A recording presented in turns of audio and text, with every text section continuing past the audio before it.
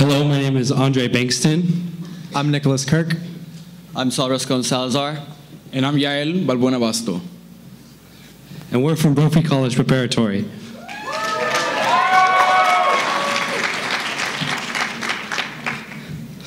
For many, September 5th, 2017 was a day of tremendous fear and uncertainty.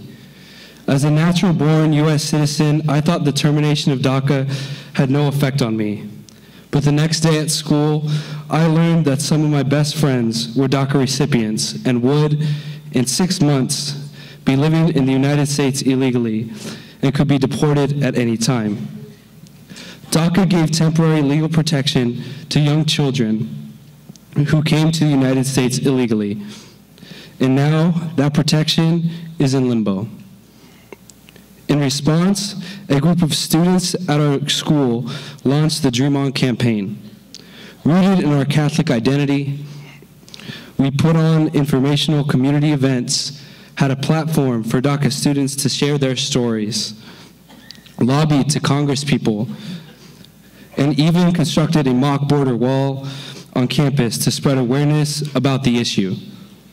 The campaign, the campaign quickly became a dominant presence in campus life, creating an expansive network of support and solidarity for dreamers.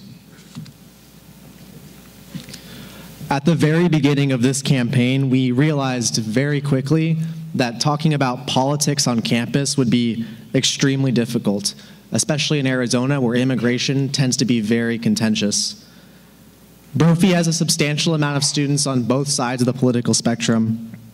And if this seems like a daunting and similar reality to your own schools, and if you would like to begin political advocacy on your own campus, realize that there is a solution an advocacy platform based in Catholic social teaching.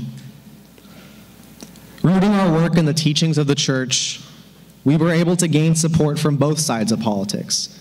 In fact, party tribalism became of secondary concern altogether. In the New Testament, in Paul's letter to the Philippians, he clearly states that our citizenship is in heaven, and that in Galatians, we are all one in Christ Jesus. By referencing the Bible and the teachings of Jesus and documents from USCCB and other church officials like Father Scott Santarosa of Jesuits West Province, we secured administrative support, which was so important to our success. The institutional support from Brophy gave the Dream On campaign the necessary platform and resources to build a solidarity on campus with DACA recipients. The reason our principal and presidents allowed our passion to thrive is because we brought people together through the church. Take solace in knowing that you have the Catholic faith as a basis for political advocacy. It will open many doors and be your friend, I promise.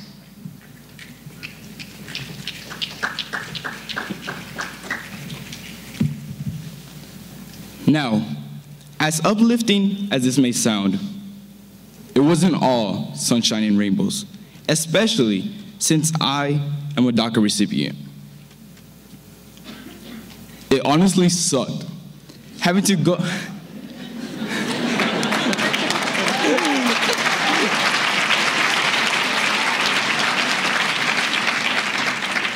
having to go through this experience, especially if you are one of those DACA recipients who your team is advocating for. Don't get me wrong, it wasn't all horrible. I had the opportunity to speak in front of my peers and represent some of my closest friends. On top of that, we impacted the way tons of people view DACA recipients, which is unreal because some of them were die-hard conservatives. But why should we even have to do this in the first place?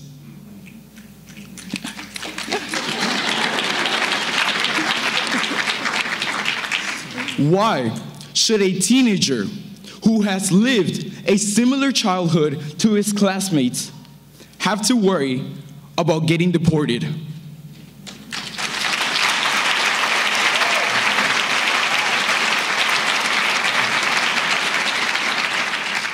Instead of enjoying those late nights with my best friends, singing along to Young, Dumb, and Broke,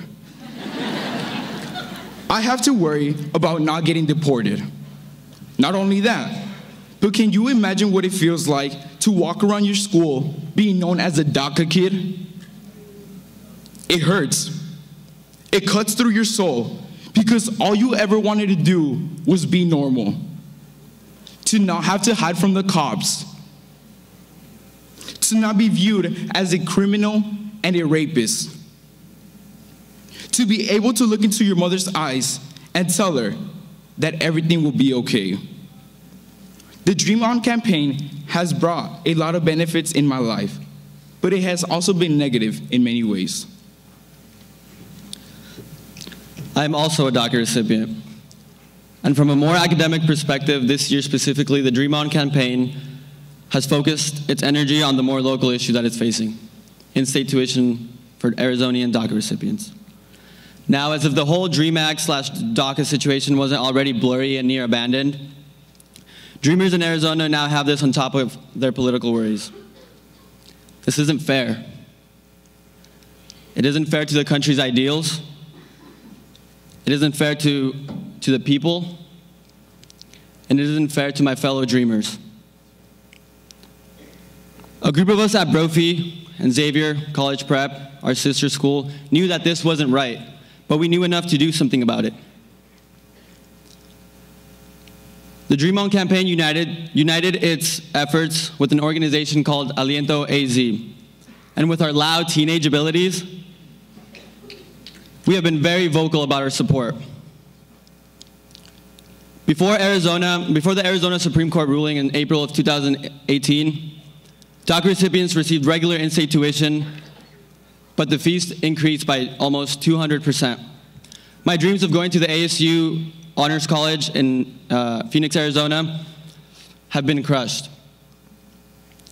The Dream On campaign is one of the best weapons we have to fight this. We have to beat this at a country level. Thank you.